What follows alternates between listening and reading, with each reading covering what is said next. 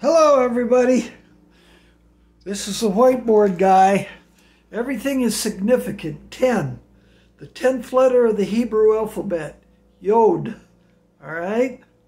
Has the smallest Hebrew figure of all the figures or letters of the Hebrew alphabet. The 10th letter is the smallest letter with the most power. All right? The issue is prayer. Our Father which art in heaven, hallowed be thy name. Hallelujah. Hallowed, L U Yah.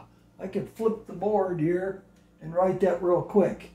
Our Father, L, the Father is first. Alpha arrow, L, first is the Father. El Elyon, highest, most high, highest. One name. Which name do you like? Do you like Yahva or do you like Yah Yahweh the W or the V?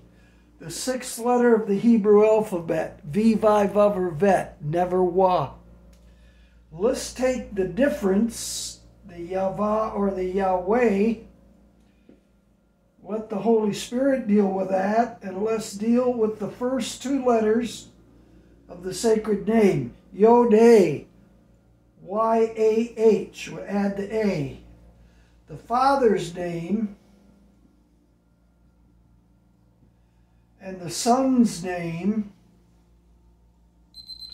Yeshua, is the one same name, Yah. Yahweh, Yahweh, Yeshua, Hallelujah. Short form name of God, Yah.